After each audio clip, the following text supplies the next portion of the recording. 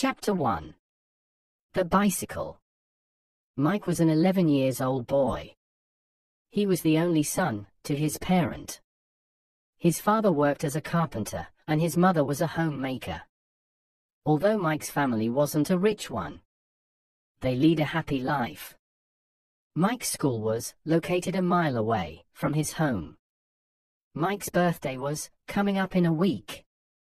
He requested his father to buy him a bicycle so that he can go to school in cycle and not by walk and depend on his father to drop him at school. His father also promised him to buy a bicycle so that he need not walk to school anymore. Mike felt so happy. The birthday boy woke up happily with his mother and father, wishing him with all smiles on his birthday. Mike was feeling very happy and expects that his father would gift him the bicycle. He had a beautiful gift, wrapped nicely in his father's hand and surprised. The father gifted him the parcel.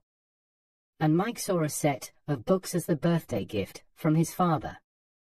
Although he was a little unhappy, as he did not receive the bicycle, he thanked his father. Mike's father was depressed, as he did not have enough money to buy a cycle. He promised to his son that he would soon buy him a cycle. After a week, when he was walking, on his way to his home back from school, he saw a boy riding a cycle.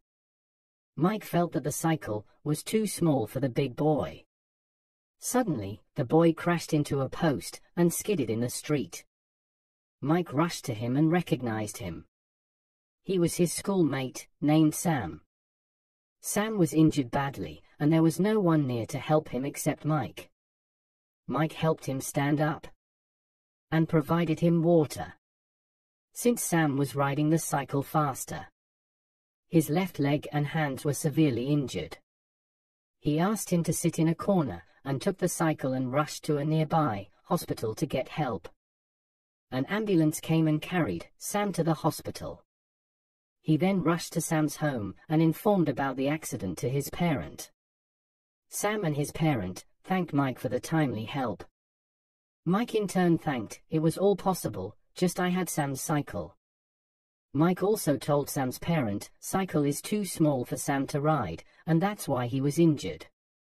Sam and Mike became close friends. Mike met Sam every day in hospital until he was discharged. Sam got a new cycle, and he came to know that Mike doesn't own a cycle. He gave his old cycle to Mike and with Mike's parent permission. Mike accepted the gift from Sam. One deserves from another for their wellness. Chapter 2 The Proud Boy There was once a very proud boy. He always walked through the village, with his eyes turned down, and his hands in his pockets. The boys used to stare at him and say nothing, and when he was out of sight, they breathed freely. So the proud boy was lonely, and would have had no friends out of doors. If it had not been for two stray dogs, the green trees, and a flock of geese upon the common. One day, just by the weaver's cottage, he met the tailor's son. Now the tailor's son made more noise than any other boy in the village, and when he had done anything wrong he stuck to it, and said he didn't care. So the neighbors thought that he was very brave, and would do wonders when he came to be a man, and some of them hoped he would be a great traveler, and stay long in distant lands.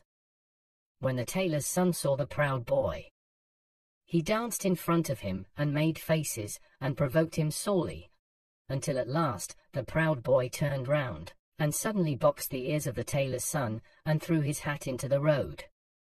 The tailor's son was surprised, and, without waiting to pick up his hat, ran away, and sitting down in the carpenter's yard, cried bitterly. After a few minutes, the proud boy came to him and returned him his hat, saying politely, There is no dust on it, you deserve to have your ears boxed, but I am sorry I was so rude as to throw your hat onto the road. I thought you were proud, said the tailor's son, astonished, I didn't think you'd say that I wouldn't. Perhaps you are not proud? No, I am not. Ah, that makes a difference, said the proud boy, still more politely. When you are proud, and have done a foolish thing, you make a point of owning it.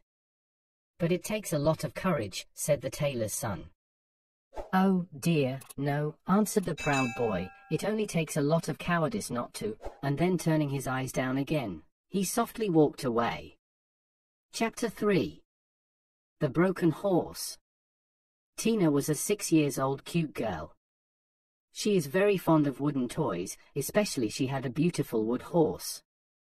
Gifted by her uncle when she was two years old. The wooden horse has been her close pal and her pet. She has a nine years old brother. She went on a vacation to a nature resort in the woods with her family. She carried the wooden horse with her. She enjoyed her holiday with her family in the woods. While she was packing things with her brother. As they planned to return home, the wooden horse fallen down.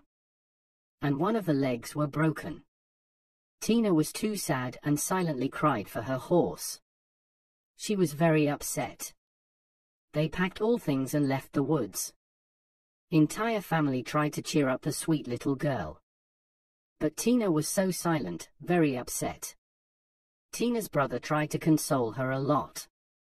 They had a break for lunch, and Tina refused to eat. Her mama requested her to eat food. She ate a very little amount of food. While others were eating, she sat quietly in their car. Her brother came to her and kissed her cheek, told her. Tina dear, don't worry, don't get upset dear. It is only a wooden toy. The horse doesn't have a life, like us and it is just a lifeless thing. Don't be so sad for the broken leg. Even if the horse loses its tail, it won't be hurting the horse. Even if all four legs are broken, the wooden horse remains same. Even if the horse loses its head, it won't be painful. I will buy a new wood horse for you. Tina replied, You think it doesn't matter, that a leg of my pet toy was broken? Her brother replied, Yes dear. Tina replied, Yes brother you are right. It won't be a major issue for you even. If the horse is broken into pieces at this age. But if you are in my age, if you had a pet like I had, you will feel how painful it would be to even if a small part of horse is broken. Her brother left silently. Just like Tina, everyone has different feelings of different aspects. What we considered of no importance will be a treasure of somebody.